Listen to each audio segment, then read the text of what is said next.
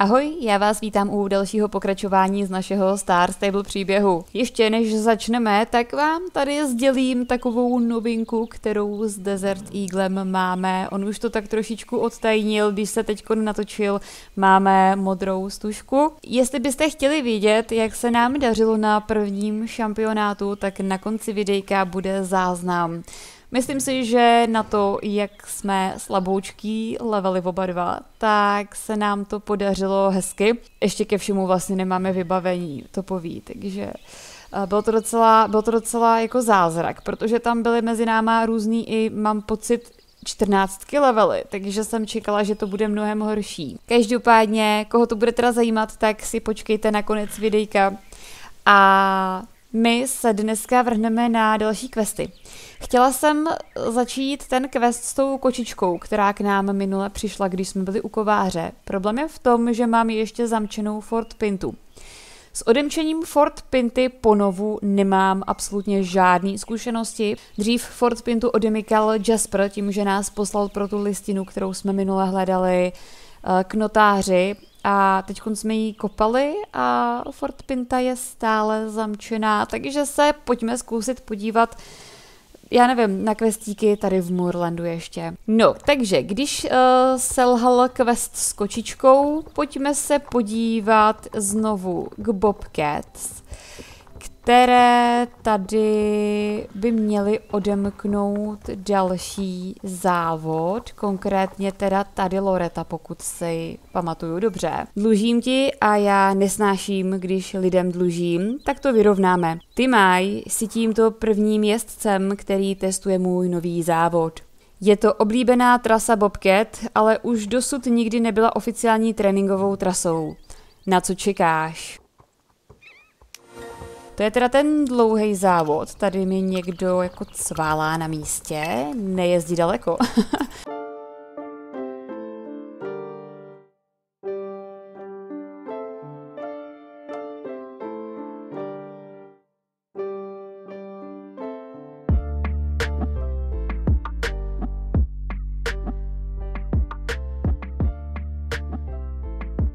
To máme závod, ze kterého se nám zase stane dailíčko a budeme moc plnit reputace. Už si zpátky?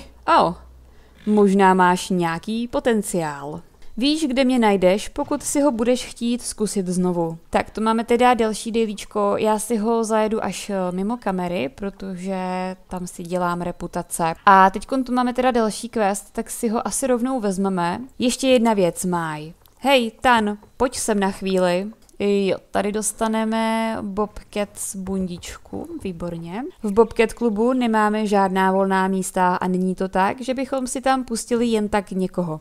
Konec konců musíme udržovat pověst. Chci tím říct, že máme svetr v klubových barvách, který bychom ti chtěli darovat. Nosit růžovou barvu Bobcat je čest. Doufám, že nás budeš dobře reprezentovat, i když nejsi oficiální součástí klubu. Víš, jsi docela v pohodě. Ne tak jako Bobcat, ale docela v pohodě. Třeba jednou budeš dost v pohodě na to, abys byla opravdu jednou z nás. No, teď tady máme dvě odpovědi, jakože děkuji a dík. tak uh, já, já dám děkuji. Není zač. Jestli ti to nevadí, musíme se s Bartokem připravit na super soutěž. Očekávej, že brzy uvidíš naše tváře na titulní straně Jorvických novin. Oh, Vidím, že se Justin snaží upoutat mou pozornost. Bez pochyby jsem mu chyběla jako blázen. Ah, je to vyčerpávající být takhle populární. Měj se. V tomto svetru budeš vypadat skvěle máj. Možná jednou budeš v oficiální klubové bundě. Tak jo, to jsme si teda splnili úkoly tadyhle u Bobcats a tím pádem i já by jsem se přesunula na questy tady k Maje, jenom si tady vezmu ten odpadek, protože ty odpadky prostě třeba sbírat. Nepředpokládám, že si ztratila koně. Velký, načichraný, s černým zbarvením, tažný kůň, myslím. Omlouvám se, že nemohu být konkrétnější, ale takových koní tedy v okolí moc nevidíme. Zvláště ne s takovým popisem. Ona je tak... Víš co? Asi by si ho měla jít prověřit sama, jestli nenajdeš nějakou stopu a nezjistíš, komu patří. Byla bych radši, kdyby se to vyřešilo dříve, než to zjistí šéf. Máme tu v jezdeckém táboře spousta nováčků, kteří se v koních nevyznají tak jako ty. Je to tak trochu věc odpovědnosti. Je v přístavu na pláži západně odtud.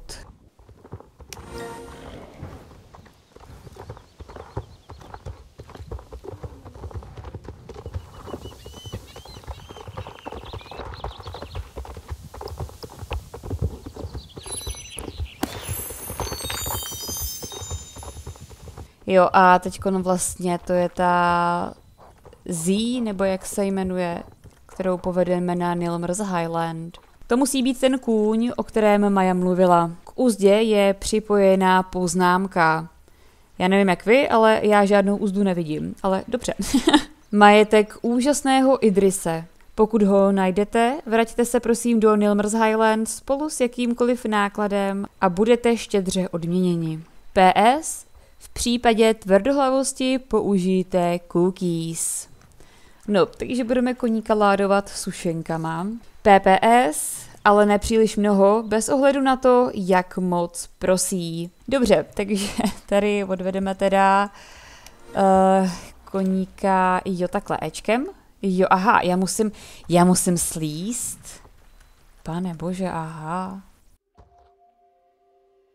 No pojď, holka, pojď.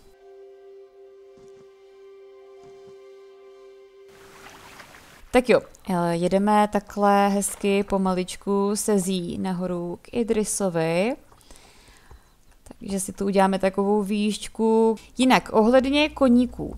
Já přemýšlím o tom, že bych si nechala Desert Eagle na, já nevím, třeba 12. levelu.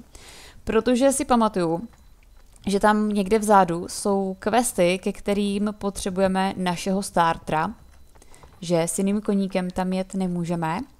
A taky si pamatuju to, že jsou tam různý XPčka pro toho koníka a nerada bych, aby ty XPčka propadly, protože bude Eagle dotrénovaný. Takže přemýšlím, že bych nechala Eagle na 12 a koupila bych si potom koníka. Ale zase by jsem chtěla jakoby nějakýho koníka ve slevách. Nechci si úplně kupovat plnou, jakoby koníka za plnou sumu, a úplně si nejsem jistá, zda nějaký slavy teď přijdou, protože byly zrovna jako nedávno. Takže uh, uvidíme, když do maximálně 13. levelu nepřijdou žádný slavy, tak by jsem hold koupila jednoho v plný sumě a už i vím, jaký plameno teda, protože uh, nevím zbarvení, ale plameno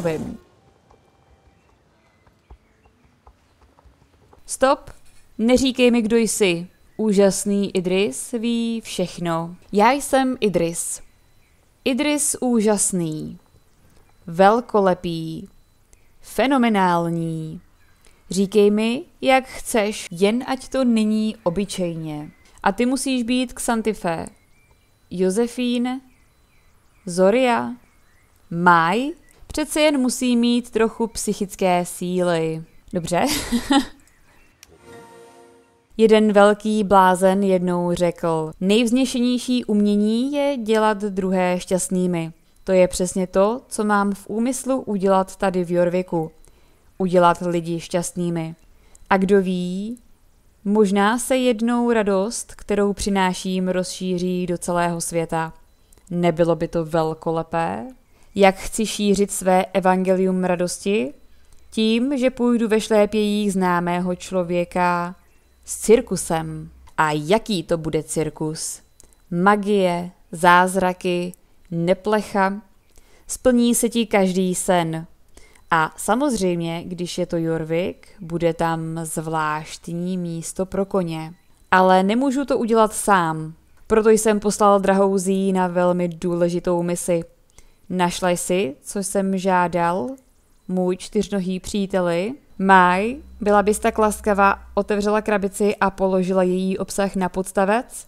Ukážu ti další dobrý trik, který znám. No, dobroš, tak vezmeme krabici.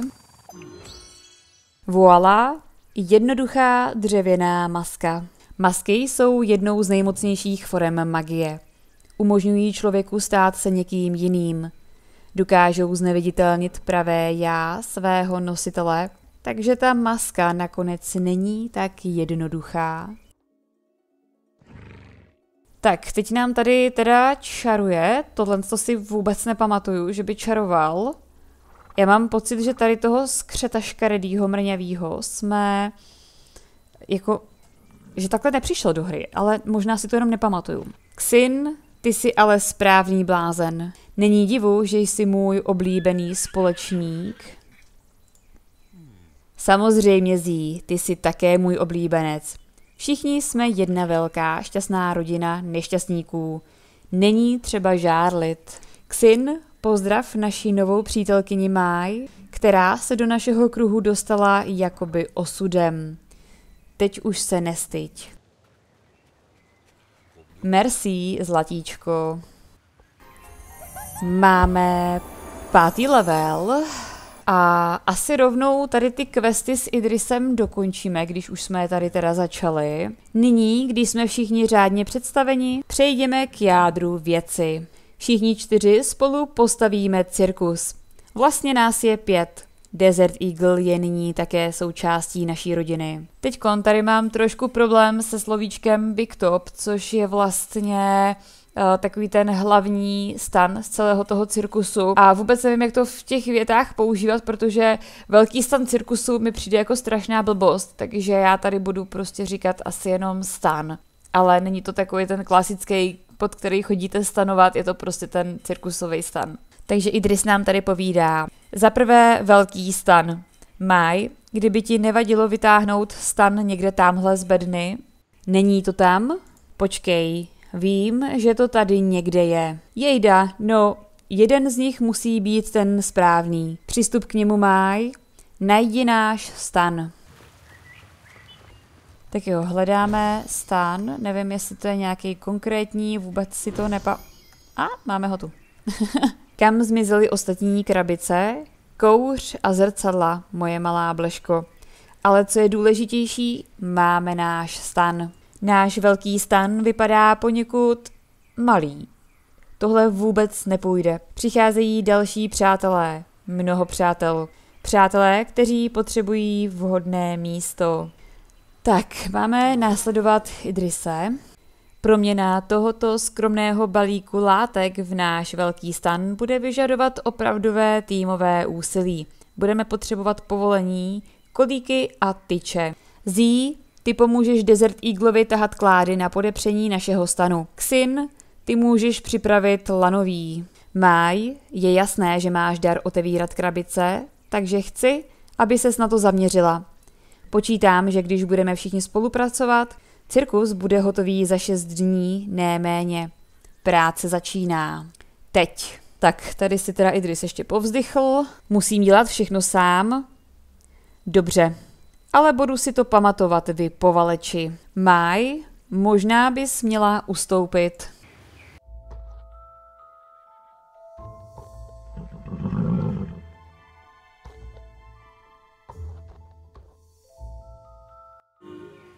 No vidíš, jak ti to šlo. Magnifik.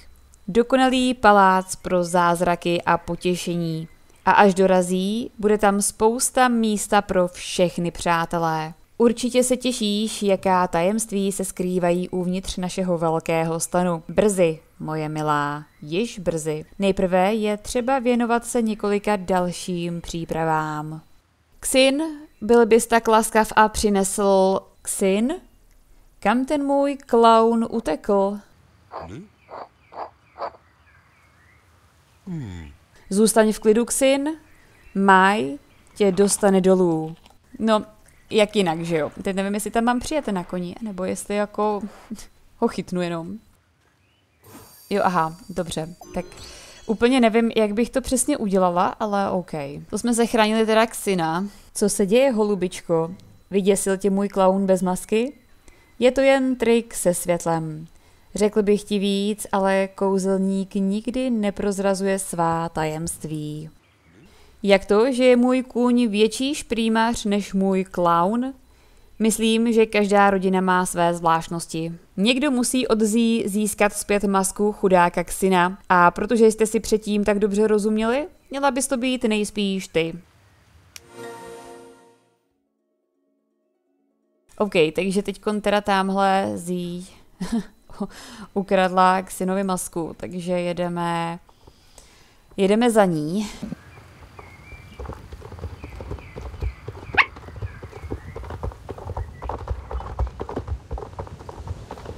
No, uh, upřímně ji ani nevidím, ale vidím, že teda puntík jede tímhle směrem, takže ji zkusíme nadběhnout. Pojď sem ty potvoro. Tak, tady se teda píše, že Zí neochotně upustí masku. Asi bych ji měla vrátit Idrisovi. Tak jo, letíme za Idrisem vrátit mu k synovu masku a uvidíme, co se bude dít dál. Přijde mi, že už natáčím strašně dlouho, ale chtěla bych ten stan tady, nebo ty questy tady s tím stanem bych chtěla dokončit, takže uh, uvidíme, jak dlouho nám to ještě bude trvat, jak dlouhý bude tento díl. Měli bychom okamžitě vrátit mého šaška zpět do kostýmu. Na klauna bez make-upu je opravdu děsivý pohled. Už mají všichni vyřešený svůj vzhled? Desert Eagle se tváří poněkud zanedbaně, ale to se asi nedá nic dělat. Vraťme se k tvorbě kouzel. Ty co si bereš mýho parťáka? Ty vůbec ho nekomentuj, ty šmejde. Našemu stanu něco chybí. Samozřejmě, třešnička na vrcholu našeho poháru snů. Světelný nápis na přivítání mých hostů na show. Kam jsem ten znak položil? Tak, tady teda vezmeme, no, trošku se to zmenšilo, když jsme to sebrali. A odneseme to sem. Nádhera. Nádhera, nádhera. Perfektní. Náš cirkus rozzáří noc a přivede hosty jako můry do plamene. Ano, plamen rozkoší. Uvedeme zde takové show, které tento svět ještě neviděl a musím poděkovat tobě. Ať ti nikdo neříká, že jsi jen další hloupá holka s hlavou pro koně. Drž se mě, moje milá, zboříme dům. Tohle znělo hrozně divně. Asi to nebudu komentovat radši.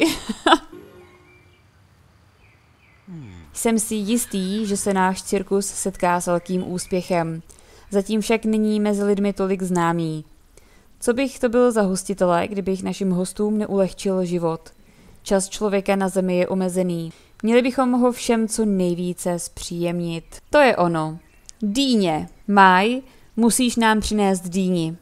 Kde jí ale najít? Co to je? Pokud mě můj nos neklame, z murlanských stájí saline vůně muškátového oříšku a nového koření. Je možné, že někdo peče dýňový koláč?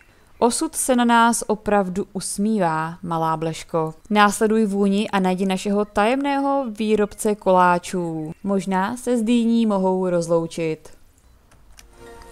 Tak jo, tak běžíme, běžíme tady po vůni.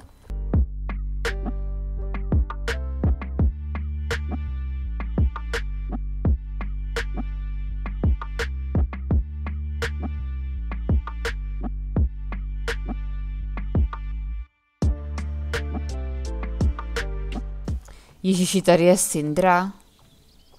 Tak ta nám odemkne Fort Pintu. Ježíši Kriste, to je všecko úplně změněný. Já jsem fakt, jak kdybych to hrála poprvé, jo. OK, tak na to se zaměříme příště. Ano, peču dýňový koláč. Proč se ptáš? Potřebuješ dýni? Po upečení mých koláčů mi zbyla přesně jedna dýně. Nevěřím na náhody. Osud ti chtěl dát tuhle dýně drahoušku. Vezmi si ji. Není nutné žádné vysvětlování. Tak jo, to jsme dostali teda dýni a letíme zpátky za Idrisem. Já si tady vezmu tu plechovku a tam, koukám, běží šam, který jsem prošvihla a tady jsem chtěla zvolat tu plechovku, takže jsem si kvůli ní rozbila koně. Našla si výrobce koláčů? Samozřejmě, že ano. A našla si dýni? Jsem velmi šťastný člověk. Štěstí se vždy usměje na mé přátelé. Jaká jsou tedy kouzelná slova pro přeměnu dýně? Salagadula, kalamazů, pojďme na klasickou abrakadabru. Tak, co nám předvedeš? Výborně, to máme přepravák. Náš cirkus snů se pomalu stává skutečností, nemyslíš si? Tak, ano, čeká nás ještě mnohem více zábavy a her. Zatím tě ale zvu, aby si vstoupila do našeho stanu, kdykoliv si jen budeš přát. Jezdi, trénuj, připrav se na hlavní program má vycházející hvězdo. Až přijdou mý přátelé, chci tě v aréně, kam patříš.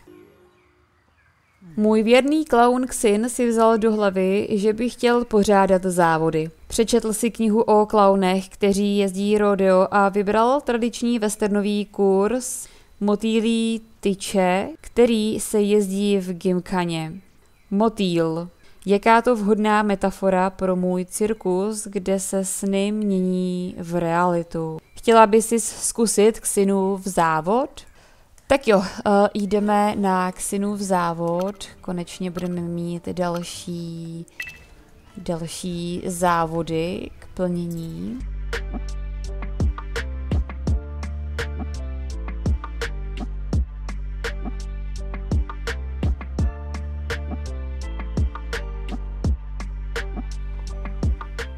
Magnifik. Skutečný balet na čtyřech nohách. S vámi je Desert Eagle ladný jako motýl. Doufám, že se vrátíš a budeš s námi opět závodit. Tak. To teda jsme si odemkli tadyhle závod v cirkuse. No a protože dnešní překlad mi dal trošku zabrat, tak mám videjko strašně dlouhý, takže bych to dneska už ukončila. Já doufám, že se vám videjko líbilo a teď na závěr vám tady teda ještě pustím ten šampionát. Moc krát děkuji za zhlednutí, uvidíme se u dalšího videjka. Mějte se krásně, ahoj.